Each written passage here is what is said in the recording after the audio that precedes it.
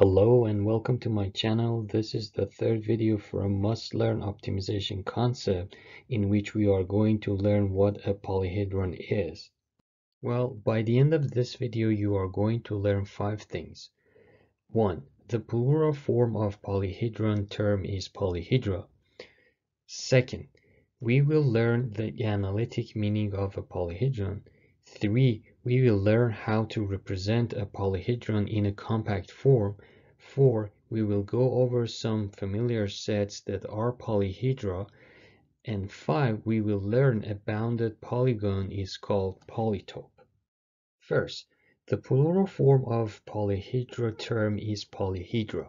This plural form happens frequently in literature of optimization where we have minima as the plural form of minimum, maxima as the plural form of maximum, optima as the plural form of uh, optimum, which means the desired point. Also, we have extreme extrema as the plural form of extremum.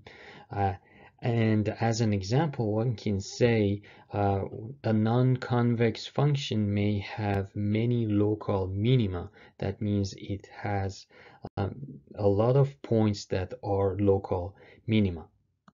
In the second video of the current playlist, we learned that a hyperplane is associated with linear equalities like this and a half space is associated with linear inequalities like this.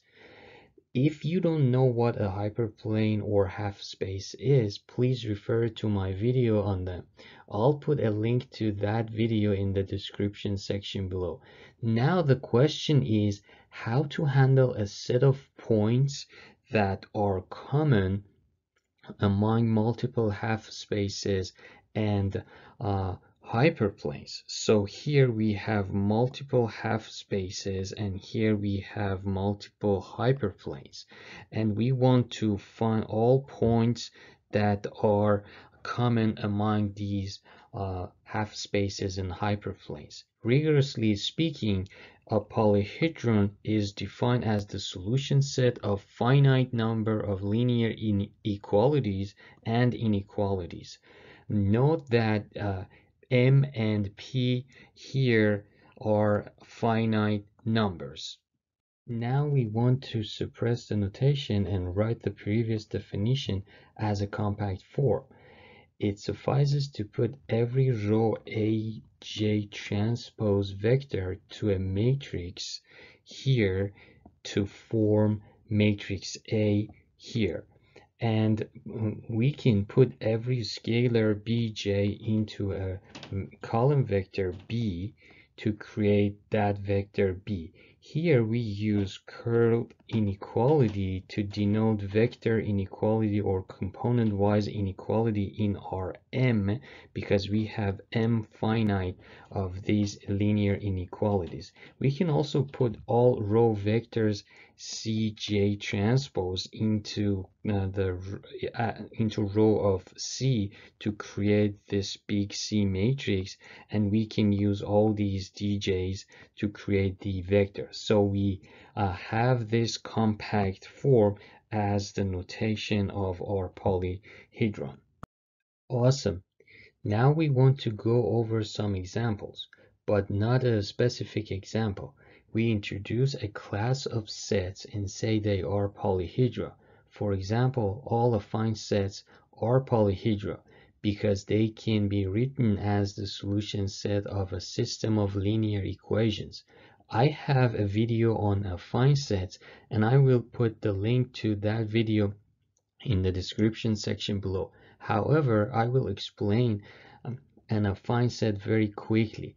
An affine set A is a set where uh, the line passing through two distinct points is in A. Here, this uh, wide line in R2 is an affine set because if you take two arbitrary points, x and y, here x and y, the line passing through x and y is in the set uh, that we are uh, exploring. A subspace is also an affine set. For example, in the left picture, this green line is a subspace because it crosses the origin. So it is an affine set and it is a polyhedron. Similarly, uh, the blue hyperplane on the right hand side picture is an affine set because if we take two arbitrary points x and y, the line that passes through x and y is still in the set, so it is uh, an affine set. N note that uh, uh, every side of this uh, blue hyperplane goes to infinity and uh, we don't have a slab here it's a hyperplane uh, the green subspace in R3 is also an affine set, so it is a polyhedron. This subspace is a subspace because it is a hyperplane that passes through the origin. Um, Mm-hmm. also note that none of these sets are bounded. A half space is the set of points x satisfying this inequality. Clearly this is a polyhedron and it is not bounded because it goes to infinity from every side that I denoted. A half space is not affine since if you take two points x and y here and draw the line passing through them, this line will not be on the set, so it is not an affine set. Uh, and uh, it is a convex set. Well, another set that is a polyhedron is a ray. In this picture, the blue line here is a ray. I have denoted it thicker for the sake of representation. To define a ray, we need a point x0 and a direction v to get x0 plus theta v, where theta is larger than 0. Here x0 is the point and direction v is the dotted line here. If you let theta be 0, you get x0 here. If you let theta be 1 fourth, you get this vector and uh, x0 plus theta v would be x1 and you get x1 point here. Uh, hence, by changing theta from 0 to infinity, we get all points on the blue ray. Now you may ask how one can represent a ray using a polyhedron notation. The answer is we have this blue uh, ray here. For that, we can draw this line, uh, blue, white line here. Now we can define a half space that covers this blue ray.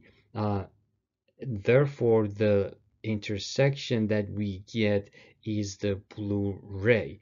And notice that a ray is not a bounded set. Line segments are polyhedra.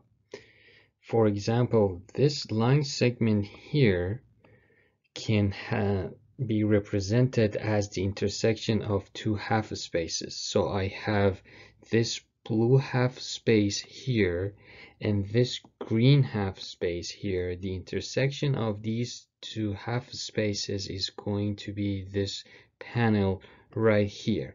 And now I can define a line uh, using the line segment, which is the dotted white line, and the intersection of the line and two half spaces is going to be a line segment. Therefore, I have a polyhedron. Well, we have a word for a polyhedron that is bounded and we call it polytope. So a polytope is a bounded polyhedron like this picture which is the intersection of five half spaces and is bounded so we call uh, this polyhedron P as a polytope. Well, what are the takeaways? We learned that the plural form of polyhedron is polyhedra. We learned a polyhedron is the solution set of finite number of inequalities and equalities. Now we know how to write a polyhedron in a compact form. Also, we saw a couple of examples like affine sets, rays, and line segments. Finally, we learned a bounded polyhedron is called polytope. Uh, thank you for watching my videos and I hope you've enjoyed this video. You can support my uh, channel by liking my videos and giving them a thumbs up. Please make sure to subscribe to my channel to get notifications for new videos. Also, it is a very huge help to share my videos with anyone who you think uh, would find them useful. Have a great day.